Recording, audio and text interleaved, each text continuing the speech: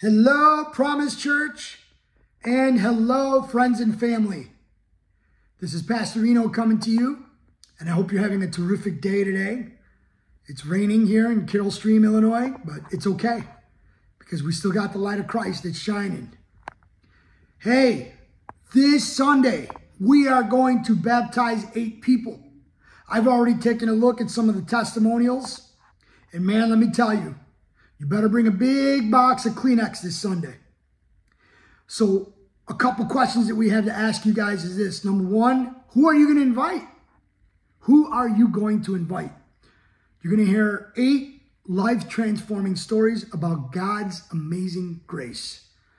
So, you definitely want to invite somebody to this Sunday service. Secondly, I want to let you know that at the last second, we, we were going to do just like this dessert reception and after talking to the hospitality team, we're like, you know what? Let's do a lunch. Let's cancel the gathering on the 28th.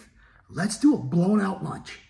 So the hospitality team is going to prepare some fixins. We are going to have a party after the baptisms this Sunday. So that's another reason why you want to invite somebody. And then I just want to ask you to do me a favor, please. For those of you that call Promise Church your home, when you come in, can you please make a hard left?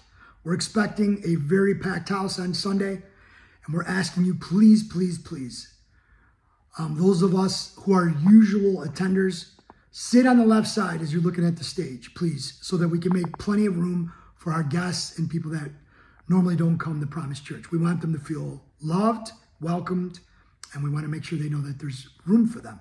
Okay? So if you could do us that favor, I would really appreciate it.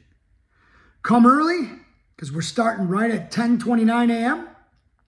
And it'll be a little bit longer service, but it'll be worth it because it's going to follow up with the wonderful baptism luncheon reception. God bless you all. See you this Sunday.